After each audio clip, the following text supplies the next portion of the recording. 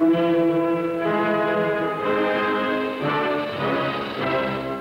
now, the DuPont Show of the Week.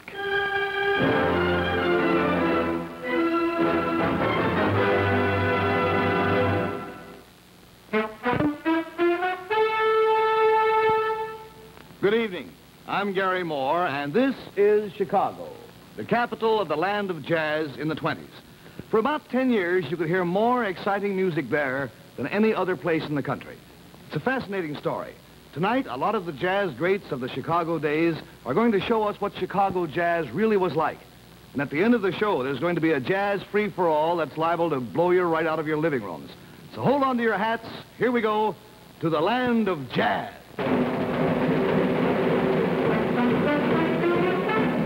DJ to do the land of jazz. Want to hear the kind of blues Chicago has. I want to step to the tune that's full of ginger and pep.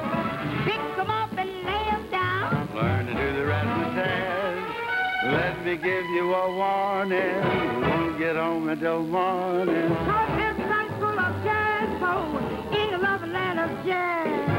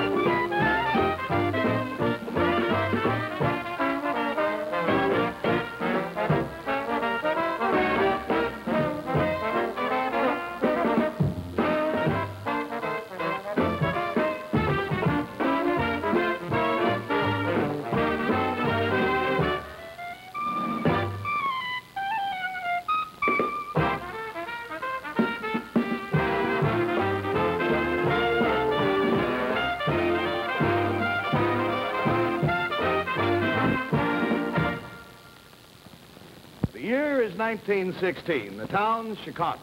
Place, the Casino Gardens on Clark Street, north of the Loop. The band, the original Dixieland Jazz Band. The sound, a musical explosion that was heard around the world.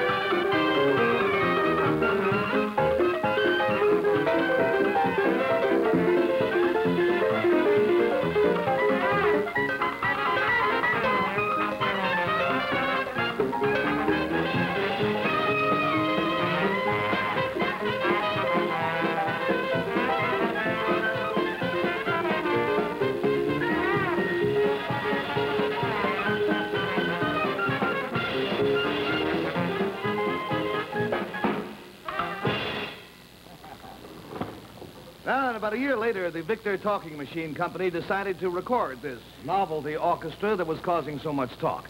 It was the world's first jazz phonograph record, and it sold a million copies. I'm not certain just why, but the music was called jazz at first.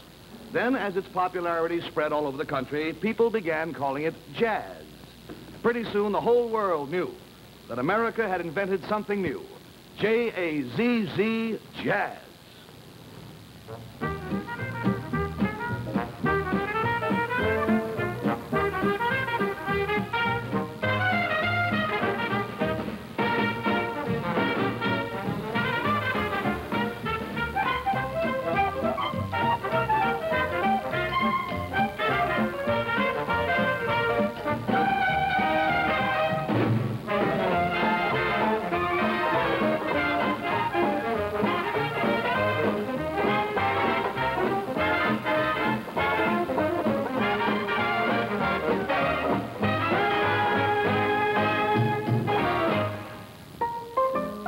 in 1917, the music wasn't really new, mind you, because Chicago and other cities had been hearing it for quite a while. The great jazz pianists, Jelly Roll Morton and Tony Jackson were playing in places like the Elite Number One on South State Street as early as 1910. At the Grand Theater on the South Side, the original Creole, New, uh, Creole band played New Orleans jazz in 1912. And the same band played in a Chicago Loop vaudeville theater. I guess everybody knows about how the riverboats from New Orleans, Memphis, and St. Louis had been carrying the new music up north. How Fate Marable, the riverboat band leader, would play the calliope about 7 o'clock in the evening to tell everybody that there was going to be hot music aboard that night, played by great jazz men like Baby Dodds, Louis Armstrong, and Johnny St. Cyr. And the jazzmen came by trains, too, because Chicago was the biggest railroad center in the world. Model T Fords brought ragtime, the blues, and stomps to the Windy City. The fact is, even before the original Dixieland Jazz Band hit town in 1916, there was a lot of jazz in the Chicago air. At the Dreamland, the Deluxe, the Royal Gardens on the South Side. Of course, there were restaurants and cabarets on the north side and in the Loop, too, where you could hear jazz music. Joe King Oliver played an engagement here at the North American Restaurant in those early days. And in such places, you could hear great vaudeville stars like Blossom Seeley, whose acts were full of swingy jazz melodies. I thought that I was late, maybe. Band is tuning up, baby. Why don't you check my coat and hat? Careful, please, of that. Pretty, what's going on? I want to see. Man, that's for me, that's for me. The first tune, the prize Todalo. It's sweet and it's hot, they dance it a lot. In San Francisco, you know.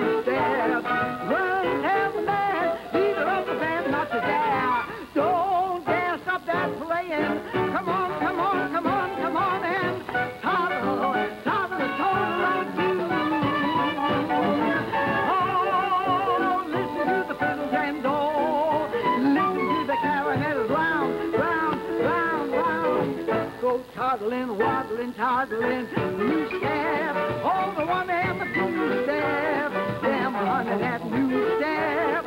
Run, tell that man, leader of the band, not to dare to stop their playing. Come on and let us all toddle that total low, toddle that Todalo. Come on, toddle Todalo oh, too.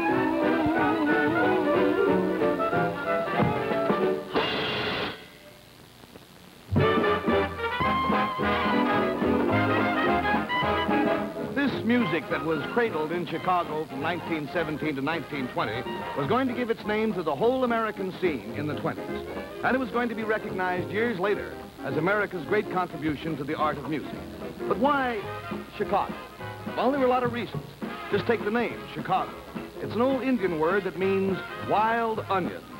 Doesn't that sound like the name of a jazz band or the title of a jazz piece? But there were more substantial reasons. For one thing, there had been a war. American life was never the same after World War I, and the change was most noticeable in the cities of the Middle West. When Johnny came marching home to Chicago, he was different, and so was his hometown. He celebrated, of course, but he was full of feelings he couldn't describe. He felt good and bad, all at the same time. Sometimes he danced to polite little orchestras playing watered-down ragtime.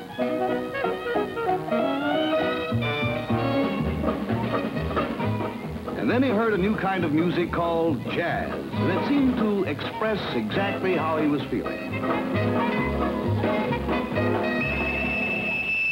The war brought another change to Chicago. War industries boomed and the Negro population increased 148%. There were plenty of jobs and more freedom for the Negro. So he headed north, bringing his music with him. A headline event in New Orleans was also important. Storyville, the birthplace of jazz, was closed. So naturally, a lot of the musicians headed north where the money was. In 1917, it was Basin Street. After 1918, it was 35th and Calumet in Chicago. Of course, it was Prohibition that gave the nightlife of Chicago and America its peculiar tone in the 20s. First time in the history of our country, a law of the land was openly flouted by a large part of its otherwise law-abiding citizens.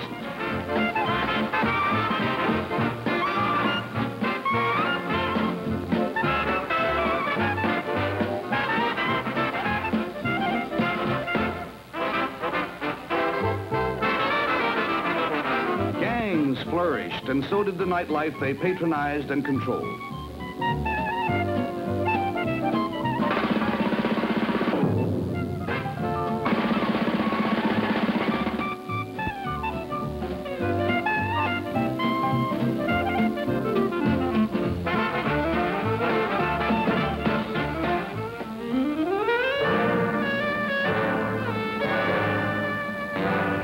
Came and went, but the music went on and on, and there were great bands and great musicians everywhere. Joe Oliver was there, king of the trumpet, and Louis Armstrong, heir apparent. Lil Armstrong was there too, and she's here with us right now. Kid Ory was there too. And so were Johnny St. Cyr and Red Allen and Buster Bailey, Singleton. And a few years later, Milt Hinton was there.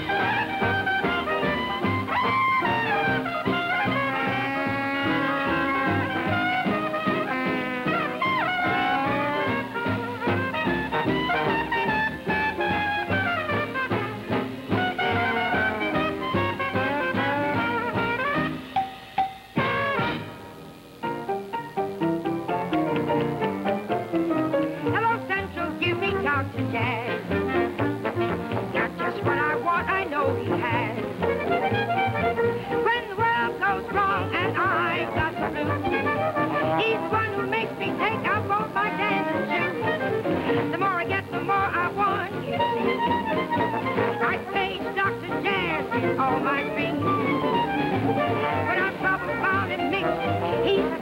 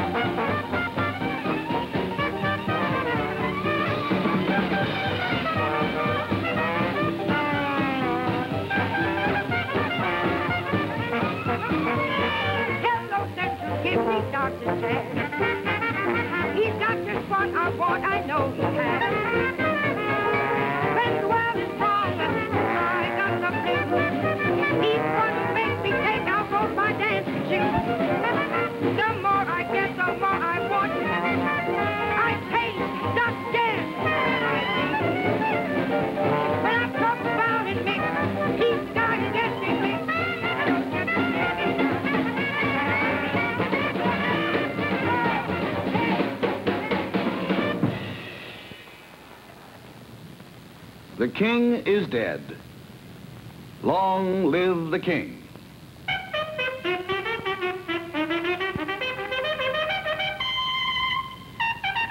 This Dixie Doodle dandy, born on the 4th of July, is the young Louis Armstrong. We didn't call him Satchmo in those days, nor did we know that one day he was going to be America's number one ambassador of goodwill. All we knew then was that he blew the best.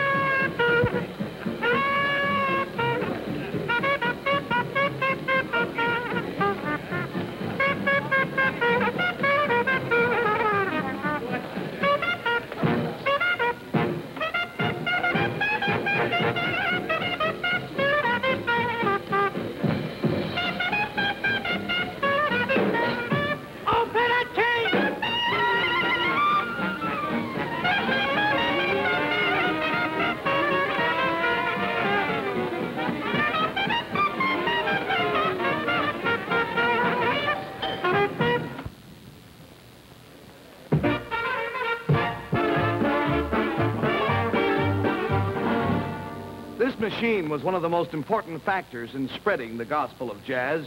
Those first recordings of the original Dixieland Jazz Band had a great influence on a lot of budding musicians in and around Chicago. For example, one of the legendary figures of Midwestern jazz in the 20s, Bix Beiderbecke. When he was a high school boy in Davenport, Iowa, according to his mother, he would spend hours with his cornet playing with the records of the original Dixieland Jazz Band. Legends about Bix, and there are hundreds, tell us that he listened also to the riverboat bands when they stopped in Davenport. He heard jazzmen such as Kid Ory, Louis Armstrong, and Emmett Hardy. Bix was sent to school in Lake Forest, which was on the outskirts of Chicago, where he soon became a familiar figure in the jazz places. Inspired partly by the New Orleans Rhythm Kings, Bix organized a band called the Wolverines. They recorded in the famous Gennett Studios in Indiana. Now look sharp because coming up is the only movie footage in existence of Bix Beiderbecke in action. He's the young man with the horn and the white socks.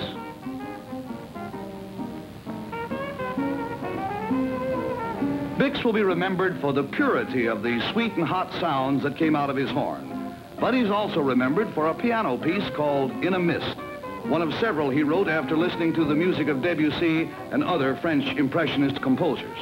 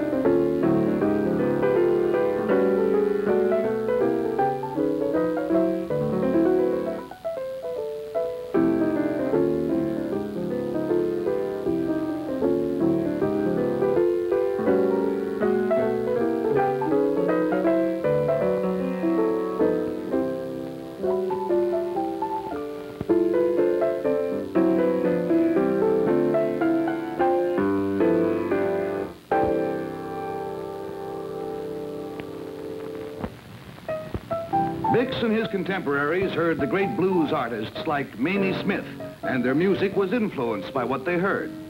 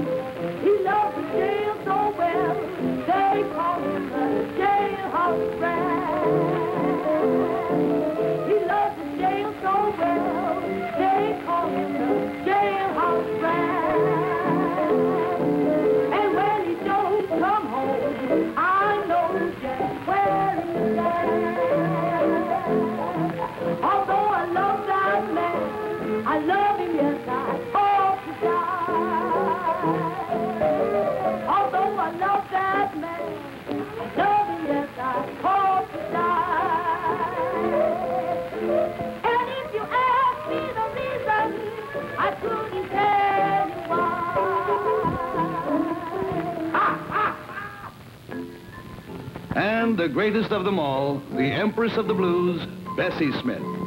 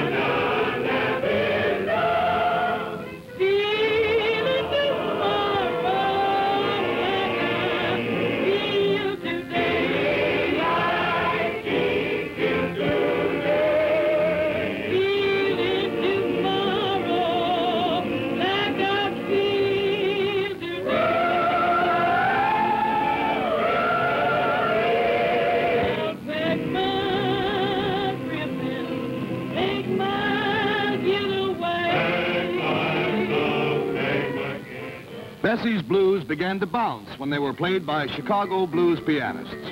When Chicago met New Orleans, boogie woogie flourished. Man, what kind of piano playing is that? That's Chicago style. Whatever that be. I bet it's something about the blues. That's the honky tonk train blues. We should get friendly. My name's Satchmo. I'm sure you know yours. Mine's Meade Lux Lewis.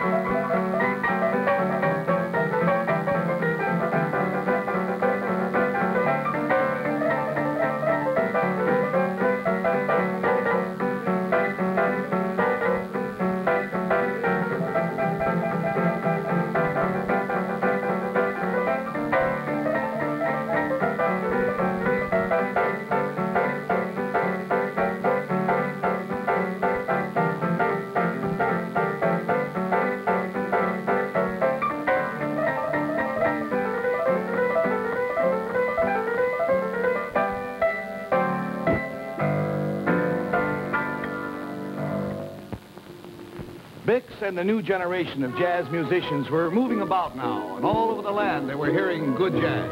But Chicago was still the place where you heard the most and the best. The lid was off, and the whole country knew that Chicago was a toddling town.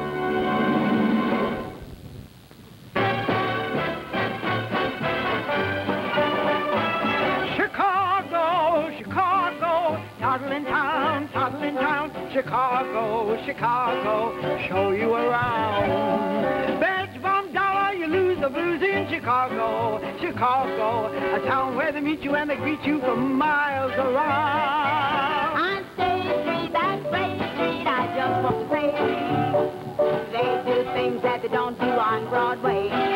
Say, they have the time, the time of their life. I saw a man who danced with his wife in Chicago,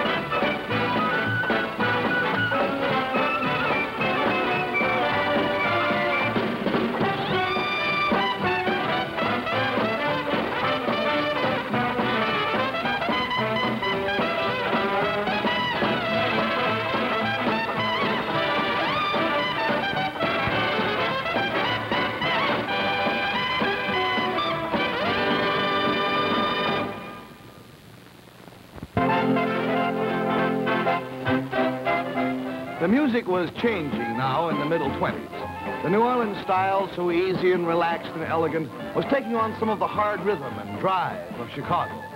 Finally, with the Austin High School gang, a style was born that has been called Chicago style. Later, the Chicago group expanded to include many who were not in the original Austin High gang, but their music had the same Chicago beat and the same wild onion tang. To name a few, there were Jimmy McPartland, Bud Freeman, Pee Wee Russell, Gene Krupa, Eddie Condon, Big Jack Teagarden.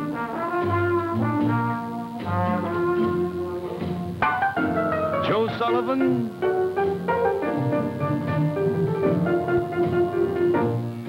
and Bobby Haggart, a Chicagoan by association.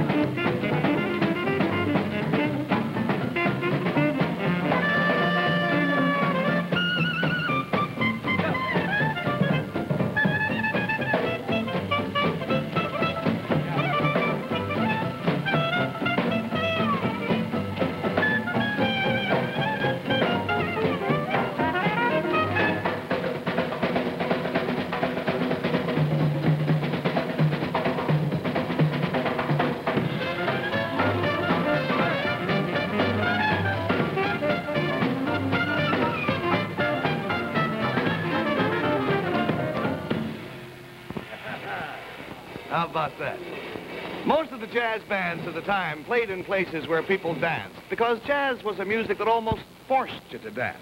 As jazz music spread all over the country, so did the new jazz dances of the 20s.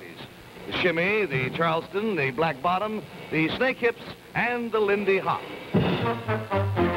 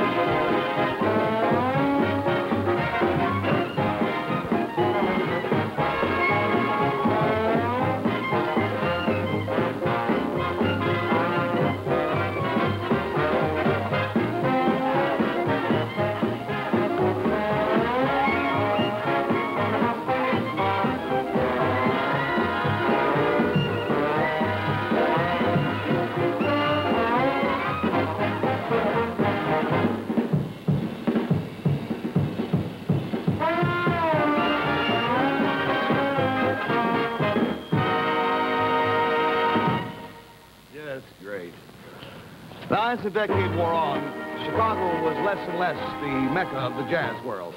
A lot of jazzmen grew restless, and they began to move around as the spirit and the prospect of better jobs moved them. To New York, Detroit, St. Louis, Kansas City, where they blew Chicago style in such bands as Jean Goldkette, Ben Pollack, Paul Whiteman, McKinney's Cotton Pickers, Fletcher Henderson, and others. As far as the general public was concerned, jazz was now a loose term that was used to describe almost any popular music played by any dance band of the time. But it wasn't jazz of the early Chicago days. In fact, most of it wasn't jazz at all. In 1929, Louis Armstrong and his band of the moment piled into a fleet of beat-up cars and cut out of Chicago. It was the end of the decade and the end of Chicago as the jazz capital of the world. The city of Chicago has always been a bright and colorful ornament of the American scene. It's high time that we recognize that the second city is maybe the first city in the spread of this great American music. In the 20s, in Chicago, from time to time, they would assemble all the great bands and entertainers for a jazz free-for-all that would blow the roof off the Mammoth Dance Hall or Armory where it took place. And so, in memory of the golden days of jazz, we observe not the moment of silence, but several moments full of the glorious noise of Chicago jazz. Ladies and gentlemen, we present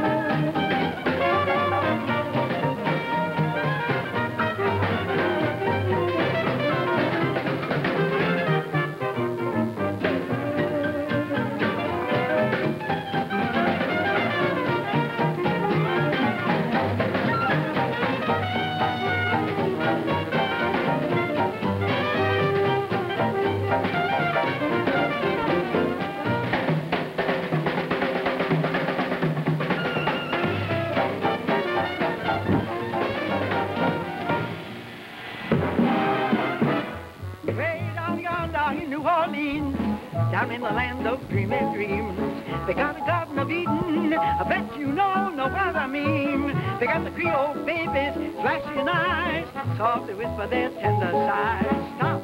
Come on and get your lady man just a little smile. I say stop, stop, stop. Why don't you stay a while? The God of heaven right here on earth. We got lovely queens and they are way down yonder, yonder down New Orleans.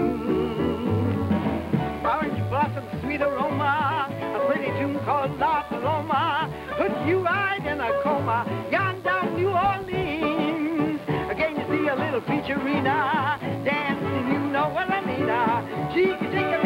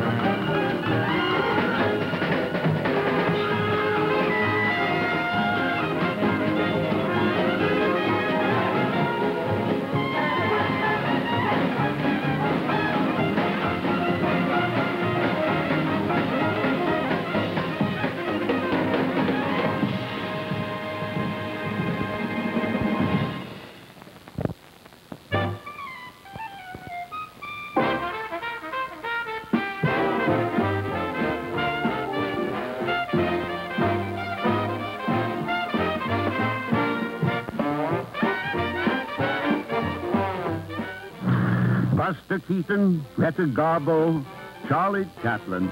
I remember them well. This is Francis X. Bushman. Wednesday night on NBC, you'll see these and other great stars on Hollywood The Golden Years. Wednesday night. Don't miss Hollywood The Golden Years here on NBC.